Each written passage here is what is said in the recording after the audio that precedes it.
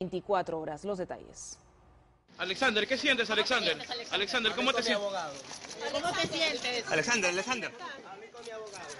¿Que te pase algo, Alexander? Alexander Salazar Álvarez, el cuartelero del hostal Señor de Zipán, salió sonriente del juzgado de investigación preparatoria de Condevilla, luego de que se dictara su inmediata liberación, pese a haber sido capturado nuevamente el pasado sábado. De acuerdo a la resolución judicial, su recaptura se debió a un error administrativo. El plazo de detención preliminar de Alexander Salazar culminó el pasado 19 de septiembre, pero la orden de detención no fue levantada, por lo que la policía procedió a capturarlo una vez más.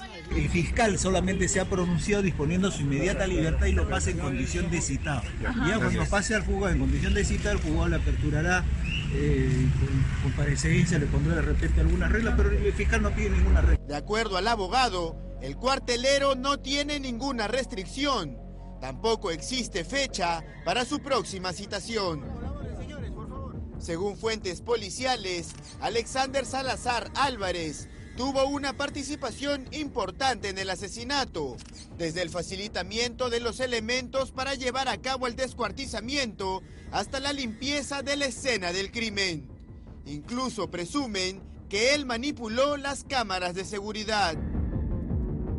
Tampoco se explican cómo el Ministerio Público no solicitó prisión preventiva pese a que no tiene arraigo domiciliario ni laboral, ya que vivía y trabajaba en el hostal que ahora está clausurado. En tanto, nuevas imágenes sobre la microcomercialización de droga en las inmediaciones del hostal de la muerte salen a la luz.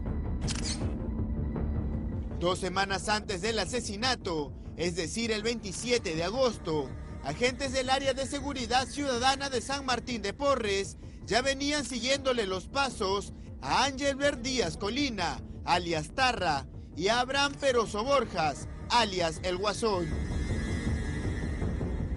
Aquí vemos cómo realiza uno de sus pases, recibe el dinero y rápidamente coloca la droga en la cartera de esta mujer. Nuestro personal comenzó a hacer el seguimiento hasta que se determinó pues que ahí eh, Gran Díaz, Díaz Colina se identifica primero con una polera roja y blanca y otro color, ¿no? Se dedicaba pues al pinoreo de, y venta de aparecer este, droga, ¿no? Se compartió la información con el grupo Terna y se llevó a cabo una incursión.